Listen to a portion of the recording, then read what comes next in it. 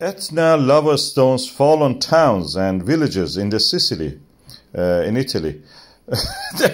that's that's sad in a way, but these people are used to live with it. This is a market. You see, people have walked on the ash and left their footprints. They're taking selfies. They're enjoying it.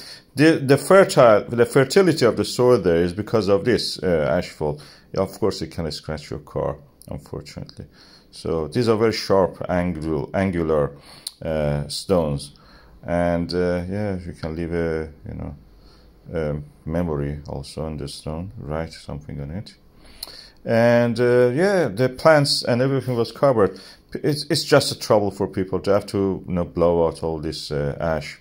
It cost a lot for the government in italy to actually do this i hope countries like lithuania and uh, poland which all the time are receiving free money from the EU, will also come and chip in some money to help the Italians. They went there to take jobs anyway. And uh, now this is the situation. African plate going under Eurasian plate. That's the uh, subduction. And this subduction creates melts which erupt as the Etna volcano, one of the most active volcanoes in, in Europe. This is a thermal image, shows which part, parts are the hottest parts.